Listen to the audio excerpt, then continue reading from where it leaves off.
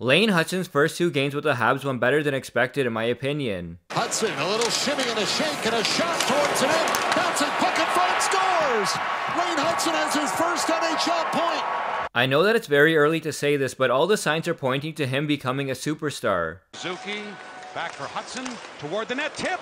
Bodies in front. Slafkovsky looking for it. Lying down.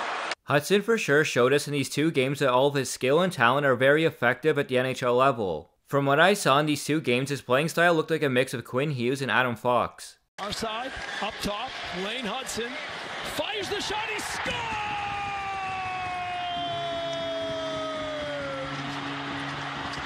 The Hockey East Rookie of the Year! I know that I'm going to be criticized for saying this, but as of right now, he's on pace to be even better than Cale Makar. The head fake.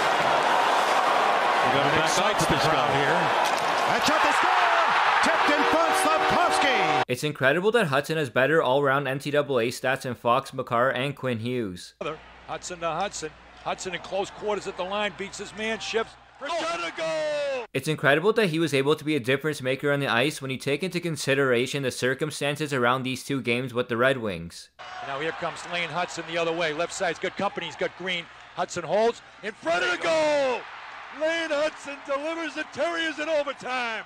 The Red Wings were for sure going all out to try to make the playoffs, and Hutson was still making plays similar to the ones that he was making when he played for Boston University. Hutson just winding it up, holding it. He sees that one little lane, dances. Hopefully, we will get to see Lane Hutson play for Team USA again in the upcoming World Championship tournament. I think another World Championship will be great for Hutson's development to prepare him for his upcoming NHL rookie season. Kalamazoo together. Lane Hutson with a chance and scores! Guess who opens the scoring in the tournament?